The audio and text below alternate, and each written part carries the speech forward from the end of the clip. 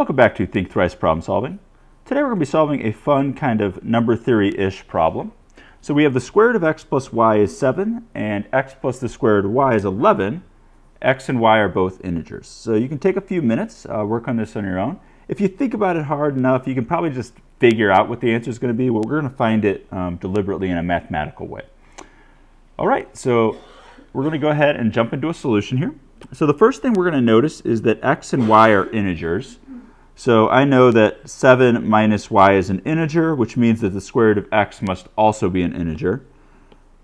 Um, same thing with the square root of y.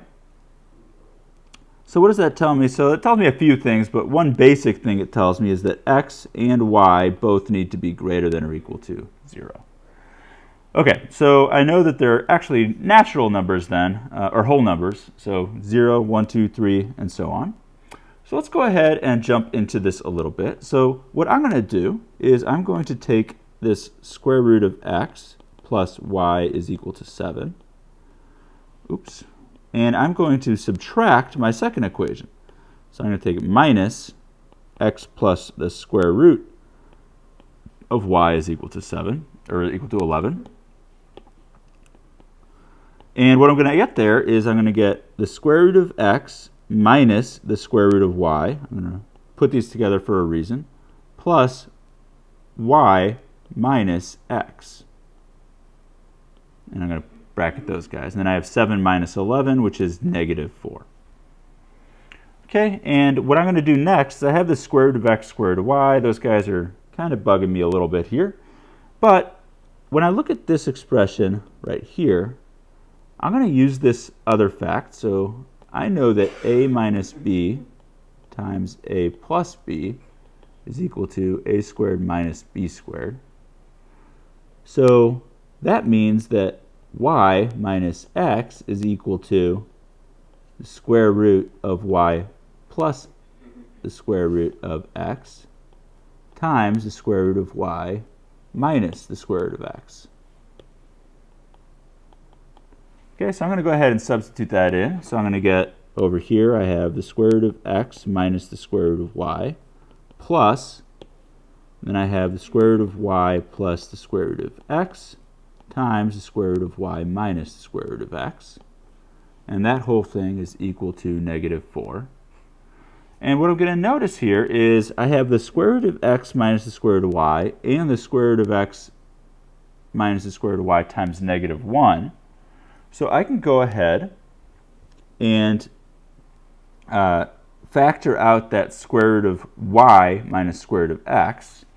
So I'm going to put a negative, and I'm going to get the square root of y minus the square root of x. So that's going to be multiplied by, this guy becomes negative 1 because I factored out the opposite. And then I'm going to get plus the square root of y plus the square root of x and that whole thing is equal to negative 4. I'm going to go ahead and multiply out a negative 1 in this whole equation just to make it so it's positive 4 on the right side. So I'm going to get square root of x minus square root of y times square root of x plus the square root of y minus 1 is equal to 4. Okay, so this is my new equation. And this actually simplifies it significantly. So if we look at this from a number theory uh, standpoint, I know that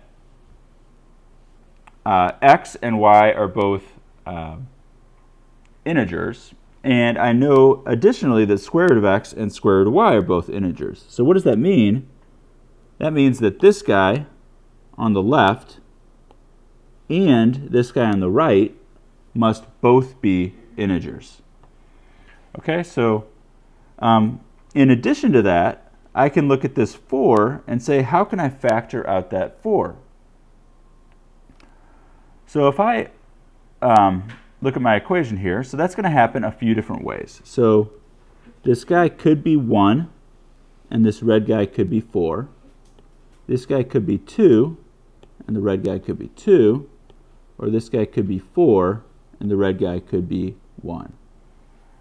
And since we're not 100% sure what everything's going to look like, I guess technically we could also have these guys all as negative, and we'll investigate that in a second. But let's look at these three different cases. So if I have the square root of x minus, so this is case 1. So square root of x minus square root of y is equal to 1. And square root of x plus the square root of y minus 1 is equal to 4. So that's equal to 5. Then I can go ahead and add these two equations. And I'm going to get 2 square root of x plus 0 is equal to 6. So the square root of x is equal to 3. So unfortunately, there's a little bit of a problem here. Oh, no, there's not, sorry. um, so what does that tell us? So that tells us that x would be equal to 9. All right. Um, and we can quickly see that if I had had negative 1 and negative 4 there, it wouldn't have worked because then I would have had square root of x is equal to a negative number.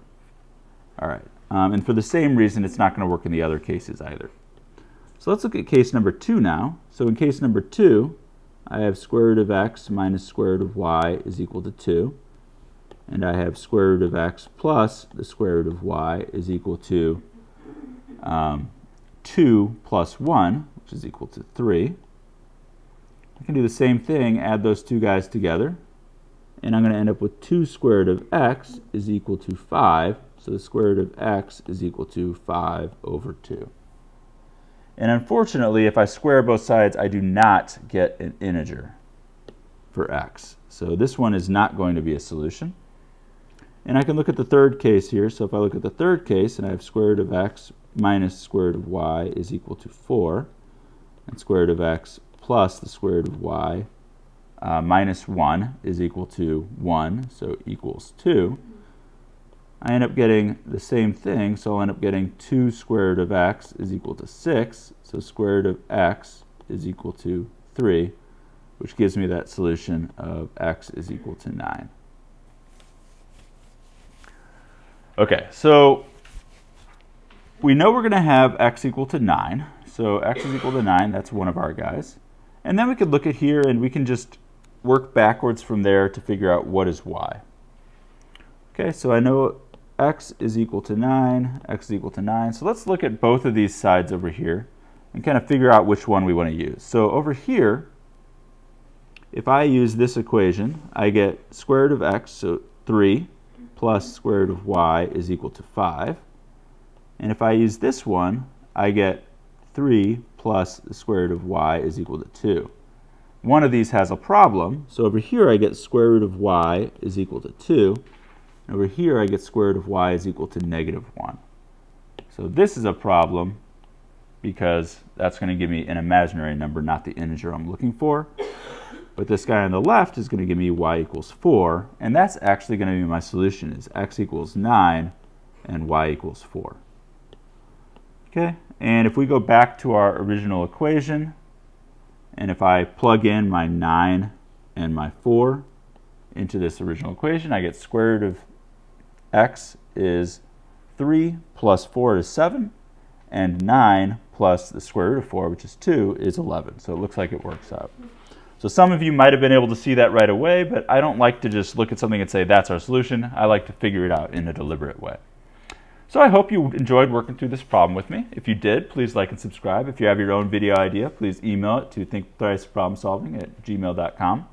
And as you're working through problems on your own, think once, think twice, and if you really get stuck, Think thrice.